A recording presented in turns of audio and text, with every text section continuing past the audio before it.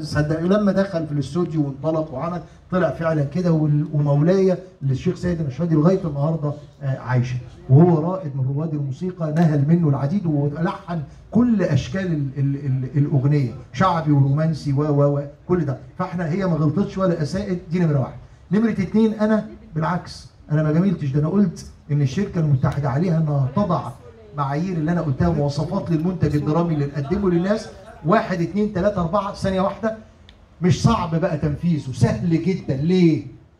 لما أكون أنا محتكر السلعة فأنا بحط شروطي لأن اللي مش هيشتغل معايا مش هيشتغل سواء ممثل أو منتج أو أو مؤلف. ففي إيدي إن أنا أطبق وأفرض شروطي لا واحققها لا لا مش مناظرة من فضلك. مش مناظرة. الموسيقية.